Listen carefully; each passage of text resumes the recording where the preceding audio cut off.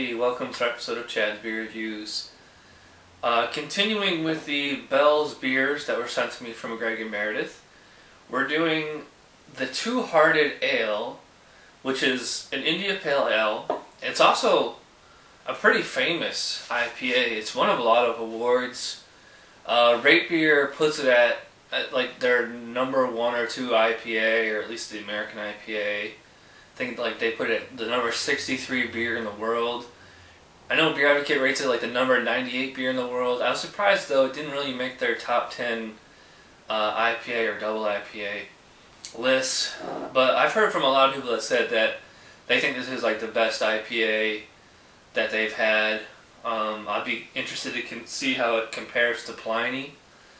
Um, let me see. It says an India Pale Ale style well suited for Hemingway-esque trips to the Upper Peninsula. American malts and enormous hop additions give this beer a crisp finish and an incredible floral hop aroma. Uh, 7% ABV. Um, the only thing I don't like about Bell's, or at least it's just like their website, or, they never say which hops and malts they use. And because I really like Southern Tier and Rogue and certain and Dogfish Head, like they'll tell you what hops, malts, and even what yeast they use, what kind of glass to use, what temperature to serve it at. I love breweries that do that. You know, it's I think it's any brewery can put that on their webpage, and you know it doesn't really take all that much effort to to put that on there. So, um, and uh, uh, is kind of a complaint of mine is when brewers put fish on the label or in the name. I think it's uh, Shipyard does a trout stout or something like that. A message all the brewers out there: don't do anything with fish with beer. A Budweiser actually makes a, a Budweiser and Clamato chelada thing. It's it's it's Budweiser with tomato and clam juice, and it's like, why would you want? I don't want fish anywhere near my beer. So that's my little rant for the day. Oh, that went flying. Oh, I can smell it already. It smells pretty good. That's always a good sign. And I'm using my tulip glass again. I really like this tulip glass. I'm gonna, you know, unless I'm doing a lager or some kind of like, you know, a half a white or something like that, I'm trying to use this glass from now on. Well, that's a beautiful shade. That reminds me of the Pliny. It's that bright, you know, orange amber color. Not a lot of carbonation there, and I got a pretty big fat head on there. It's you know, it's what, two, three fingers, yeah. Um, you know, eggshell, foamy, frothy, whatever you want to call it. Smells great. It's uh, kind of that citrus. Yeah, it's like it smells like the West Coast style IPA. Lots of citrus. I don't really get much pine in here. I mean, I guess you could call that floral, flowery, floral. I don't know. Not quite as intense as the Pliny, but it's if you took the Pliny and dial it down a little, that's kind of what you get here. So I'm just gonna dive right in. Mmm, that's a good IPA. That's what I like. Um, right away, the citrus up front, and a little bit of a thicky, thicky, thick piney resin on the back end, and then it finishes again with the the grapefruit uh, citrus, leaving a nice, very sweet aftertaste, almost kind of like candy. It's a little, it's a little thinner in the mouth than I'd probably prefer. It's not. I would call this medium bodied. I wouldn't quite call it full bodied. Uh, seven percent ABV. That's uh, that's right in the ABV range that I that I like in an, in an IPA. Six, seven percent. Uh, I believe Pliny was eight percent. So in that air, in that range is always pretty good for me. Oh, looks like there is some yeast in the bottle because all of a sudden this is hazy. I don't really like that when uh, there's yeast in the bottle and the brewer doesn't tell you. So let's see if it affects the taste at all. Well, the taste seems pretty much the same to me.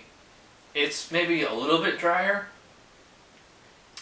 It's not quite, and now it's not quite as crisp as it was uh, before I had that yeast in there. So that just goes to show how uh, a beer's palate can, can really be affected by how much yeast is or is not in the bottle. Um, I'm just going to take a little break here and we'll come back with my final thoughts. Hey, welcome back. Oh, you never really left. Um, yeah, I'm really enjoying this. Uh, the Bell's Two Hearted Ale. Like it a lot. Definitely one of the better American IPAs I've had. And um, but it's not quite up there with the best of the best. Um, the flavor, as really you know, delectable as it is, you know, it's really tasty. It's not. It seems like just a tad too mild to me. So I mean, other, I'm not really complaining other than just that the intensity could be boosted up a little bit. Um, as far as drinkability, I mean, goes down so easy. Finishes fairly clean. I mean, the hops do linger for a little bit. I also noticed that as I got towards the bottom here, it turned from the citrus to more of a pine, and it seems to be actually getting a little bit thicker. That could be from the yeast kind of settling at the bottom of the glass. Um, and I have to say that actually, I enjoyed those first few sips without the yeast better than when I, you know, poured the, the, the, the entire bottle out. So I think this probably would have been a 10 if it was, you know, if it didn't have the yeast in there. But other, but otherwise, I'm going to give it a 9. And uh, that's all three Bell's beers that I've reviewed so far have all been 9s for me. Like, I just can't quite get my highest recommendation, but like I'm really not complaining about them at all. Um, I wish this was sold around here, um, but I think the closest I can get is like Pennsylvania. So I like it a lot. You know, real tasty, highly drinkable, seven percent ABV. I just drank this really quick, and it's not like going in my head or anything. So it feels like a pretty light beer for well, light for what it is considering. Uh, I, I don't know sure on the price and all that stuff. So um, Bell's Two Hearted Ale. I'm gonna give this a nine out of ten. I think it's an excellent beer. One of the better American IPAs I've had. Highly recommend it. So thanks to Greg and Meredith for sending this, and go check it out. Thanks to you guys for watching, and I'll see you in the next review.